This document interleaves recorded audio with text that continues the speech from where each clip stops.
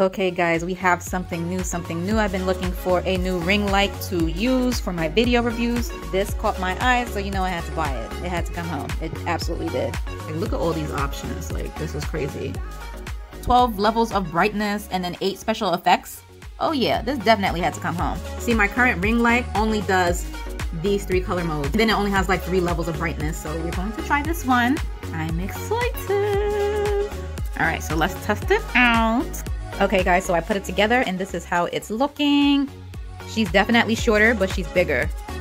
So hopefully she is better. Okay, so here are the ring lights together. This is my old one. This is the one that only has three lighting settings and then also three levels of brightness. This one is the one that has all the colors in the rainbow and all the levels of brightness you can possibly dream of. So we are going to compare them. They're both the same brand. See, Bower, Bower. So let's see which one is better.